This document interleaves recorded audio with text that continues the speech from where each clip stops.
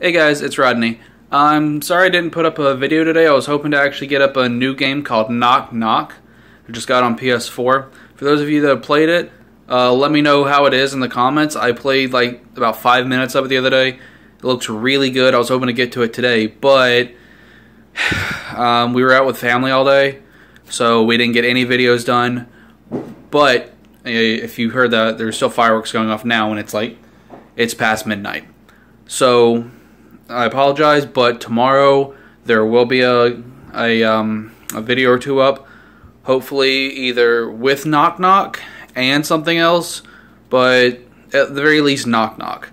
Um, I've had a couple people ask me when are we going to do another episode of actual cinema and a snack for what the channel's named. Um, we're hoping to do that Thursday. I'm actually working on a schedule, and we should have uh, that start back up at least once a week.